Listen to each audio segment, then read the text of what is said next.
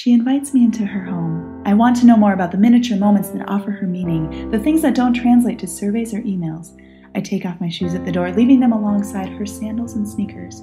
She shows me the storybooks her daughter has memorized, shares bedtime songs that she once sang, the bathroom floor where she and her husband reconnect over their daughter's rubber ducks and bath crayons and baby shampoo bottles. Soon her daughter will outgrow tub time. At the door, my brain and notebook are full of observations, and I hesitate as I put my shoes back on, for I am standing on holy ground.